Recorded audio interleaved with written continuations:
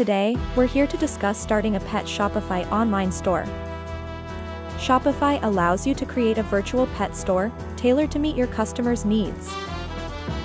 Whether it's organic pet food, exotic bird supplies, or adorable dog outfits. Knowing your audience is key to a successful online store.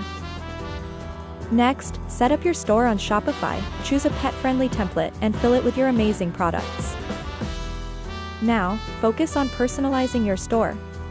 Use engaging product descriptions, great images, and dedication to quality. Remember, customer service is vital, and prompt replies can turn one-time shoppers into loyal customers in your pet Shopify store.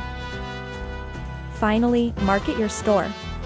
Use social media, email newsletters, and SEO to reach your target audience. Let the world know about your pet paradise. With dedication and perseverance, your pet Shopify online store will thrive.